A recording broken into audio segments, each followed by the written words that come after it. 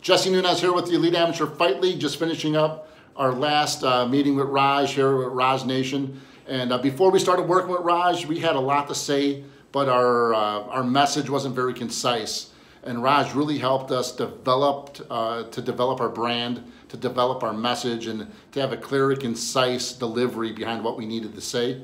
Uh, so now we have an elevator pitch, a 30 second pitch, a five minute pitch, all the way to, you know, just your big standard uh, you know, 10 minute investor type of pitch.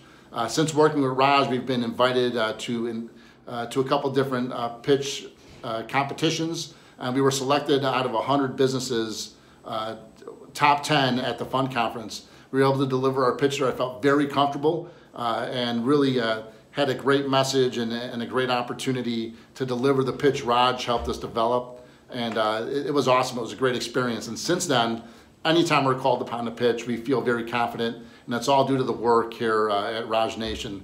So if you're out there and you've got a business and you know you need to deliver that business or deliver a pitch or tell somebody about it, Raj is the right guy to work with. If your message sucks, he makes it great.